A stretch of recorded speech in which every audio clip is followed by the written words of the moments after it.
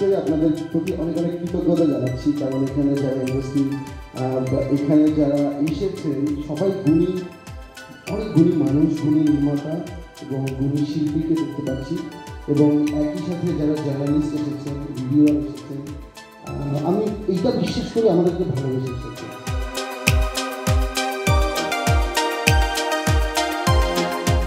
একটা OTT platform শুরু করা, যে কত কঠিন এবং সেটাকে এই জায়গায় নিয়ে আসাটা ছেড়ে দিলাম তো শুরু করাটাই কত কঠিন সেটা আমি যেহেতু Srikanth is almost like family so I seen the rise and the rise of Hojul and uh, I've been through their journey. So I, I know how difficult that is.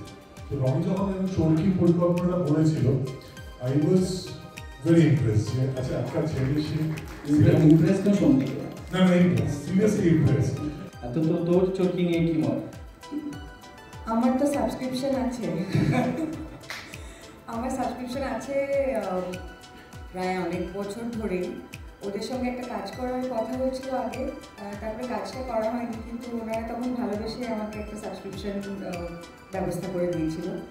তারপরে সেটা ইনভ্যালিড হয়ে যাওয়ার পরে আমি অনিন্দদার দ্বারস্থ হই।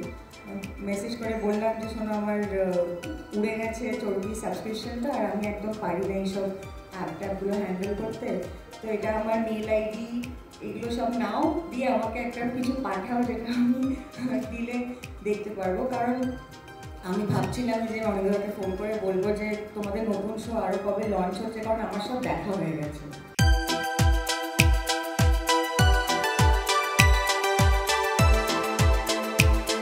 অনেকদিন ধরেই কলকাতা দর্শকরা চাইছিলেন যে চরকি প্ল্যাটফর্ম কলকাতায় লঞ্চ করুক এপার বাংলায় লঞ্চ করুক।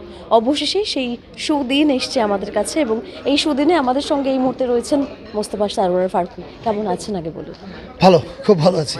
এবং এই যে বিশেষ উদ্যোগী সুদিনই বলছি আমি কারণ এখানকার মানুষরা দর্শক যারা আছেন অনেক দিন ধরে চাইছিলেন যে চরকি আসুক এখানে।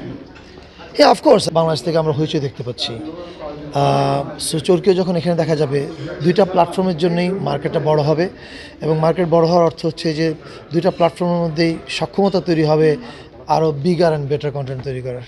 এবং আপনি যেটা একটু আগে বলছিলেন যে ভালো গল্প ভালো চরিত্র পাওয়ার জন্য ওটিটি এখন বেস্ট ইয়া অফকোর্স মানে আমরা যেটা ওয়ার্ল্ড ওয়াইড যে ট্রেন্ড দেখছি যে থিয়েটারগুলো মূলত ব্লকবাস্টার দখল করে রাখছে আর great subject great story great character এটা দেখার জন্য প্রবাবলি মানুষ ওটিটিতে সময় কাটায় বেশি।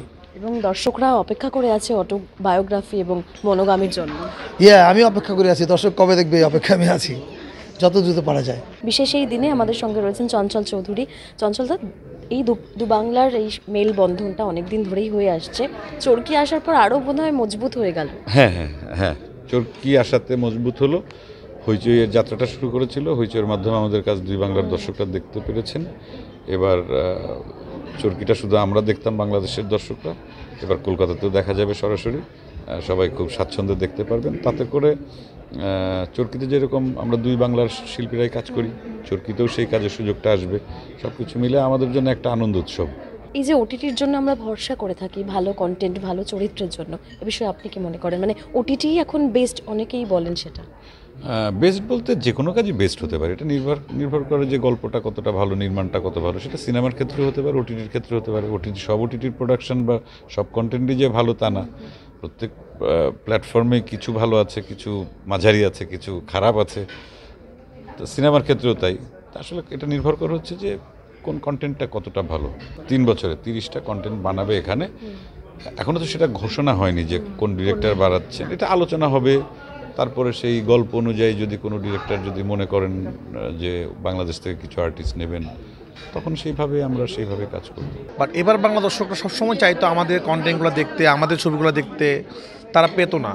তো এই মাধ্যমে কারণে এখন সবাই কন্টেন্টগুলো দেখতে পারবে এবং চরকি যে কথাটা বলল, তারা এখানেও ছবি বানাবে। তো এই যে আসলে একটা ওটিটি প্ল্যাটফর্ম যারা দুই বাংলায় ছবি বানাবে, মূল কথা হলো তারা কিন্তু বাংলায় ছবি বানাবে আসলে।